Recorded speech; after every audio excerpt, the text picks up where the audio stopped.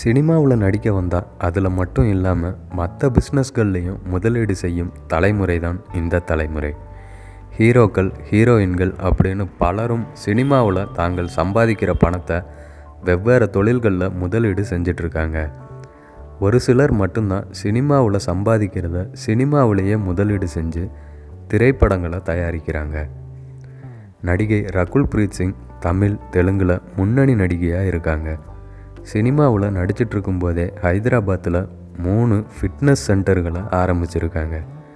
அதை இன்னும் மற்ற ஊர்களுக்கும் விரிவுபடுத்த இருக்காங்களாம்.